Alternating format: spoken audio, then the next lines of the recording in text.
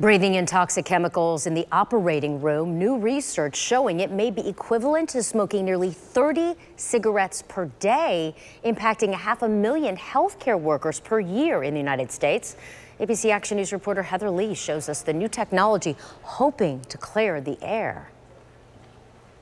So this is just a harmless chicken breast. In less than a minute, this clear box is filled with smoke. In the operating room, you'll always smell surgical smoke, but you'll never actually see it because it'll never accumulate. Nick McGinnis works for Stryker, a company specializing in surgical equipment. He says smoke from tools that cauterize or vaporize tissue during surgery can move up to 40 miles an hour and contain hundreds of toxic chemicals even operating room masks can't filter. He says it's equivalent to smoking nearly 30 unfiltered cigarettes a day. The scary thing is that whatever's on that patient's skin, whatever's in that patient's bloodstream, is transmitted into the air and then transferred into anybody in the room who's breathing that air. And over the past few years, he says nurses, surgeons, and clinicians have been raising concerns after developing respiratory issues. Rhode Island is now the first state to ban smoke in the operating room by law. This much smoke is generated in just 30 seconds.